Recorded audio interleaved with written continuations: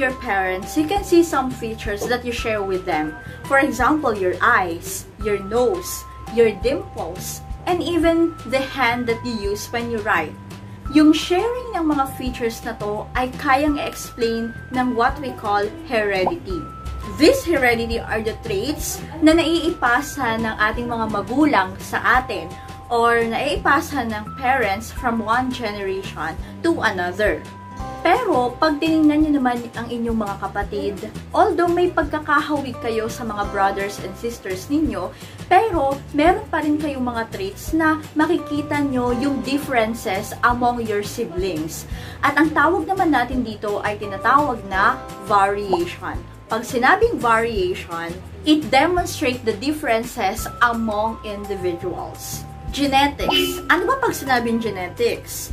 Genetics Genetics is the study of heredity and variation. At layunin ng genetics na to na mas maintindihan pa natin kung paano ba uh, naiipasa ang mga traits from one generation to another at kung paano ba nag-a-arise itong tinatawag natin na variation.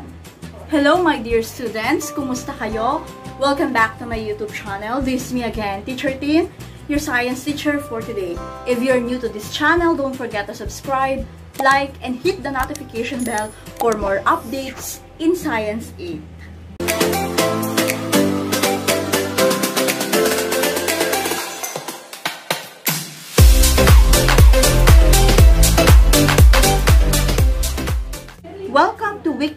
Of quarter 4 in Science 8. And for today's lesson vlog, what we're going to discuss is all about the stages of mitosis and meiosis. And we have two learning competencies for today's topic. Number one is to compare mitosis and meiosis and their role in cell division cycle. And MELC number two is explain the significance of meiosis in maintaining the number of chromosomes. Alam natin na ang, ang lahat ng living organism ay nagre-reproduce. Yung mga nutrients na nakukuha ng bawat individual, ito yung nagpo-provide ng energy para sa growth and development at para na rin sa reproduction. May tinatawag tayong cell division. Yung cell division, ito yung cellular level of reproduction. Ito yung nagpo-provide ng backdrop para doon sa organismal level of reproduction. And before we proceed with our main discussion or main topic about stages of mitosis and meiosis, let us have a brief introduction about cellular reproduction and genetics. So pag-usapan muna natin ano ba ang nangyayari bago magkaroon ng mitosis at ng meiosis. Chromosome DNA interface cell division. These are some words that you may encounter in today's lesson vlog. Ano ba itong mga to?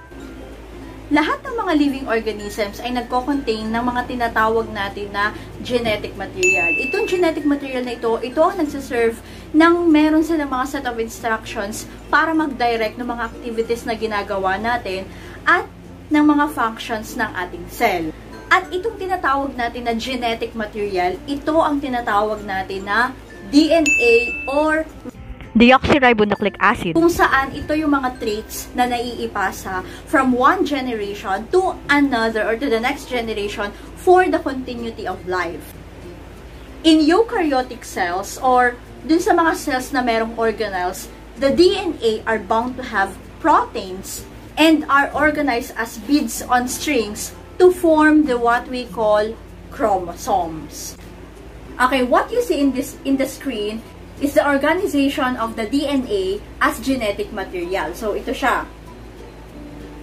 This is the entire mitotic chromosomes na merong length na 1,400 nanometer. Okay, ito siya.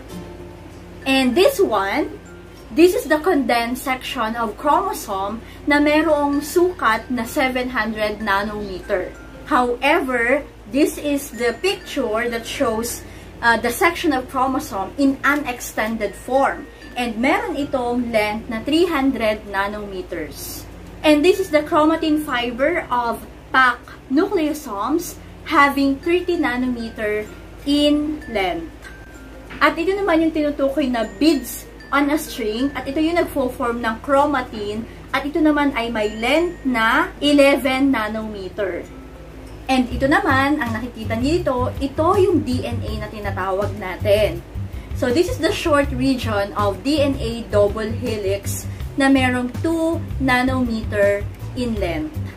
Okay, ano ba pag sinabi nating nanometer? Anong katumbas ng isang nanometer? 1 nanometer is equivalent to 1 times 10 to the negative 9 meters.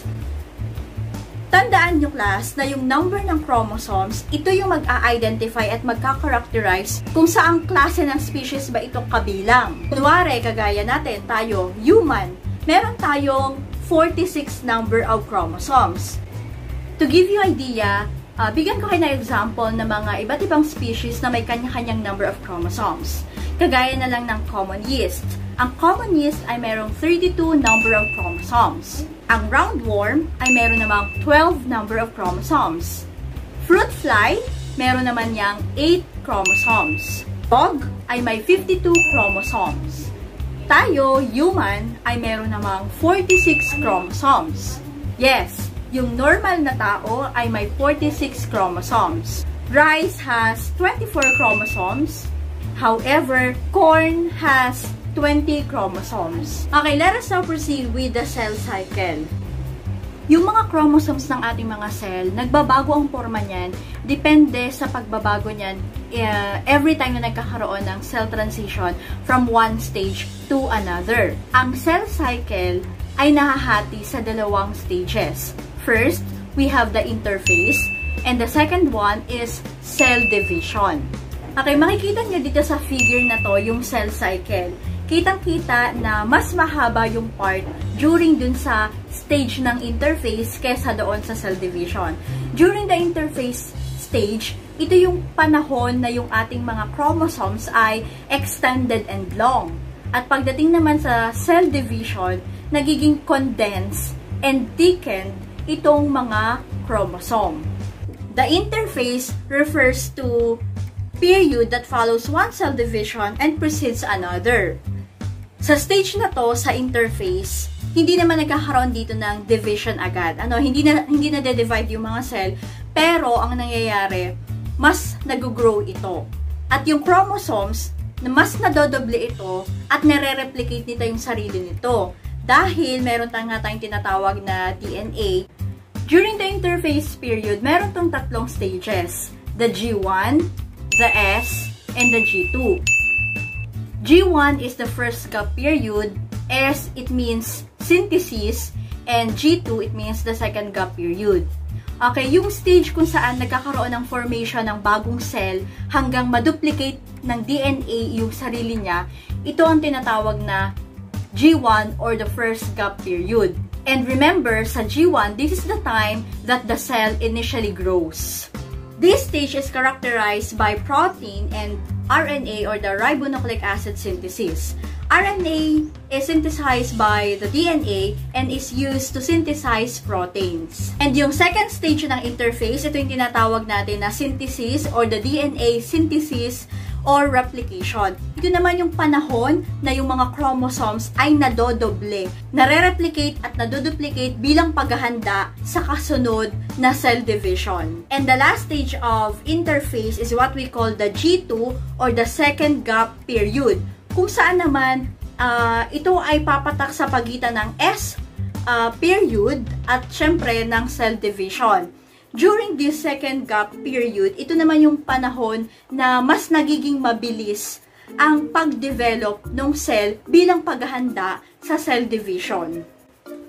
And after the interphase, dadako na ito ngayon sa second stage ng cell cycle which is the cell division. There are two types of cell division.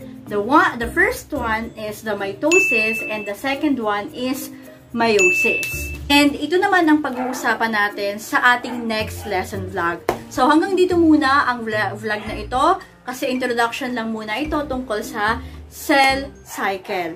So see you on my next vlog. I hope you learned something from this. See you sa ating part 2 ng quarter 4 week 3 tungkol sa ating stages of mitosis and meiosis. So again, if you're new to this channel, don't forget to subscribe, like, and hit the notification bell for more updates in Science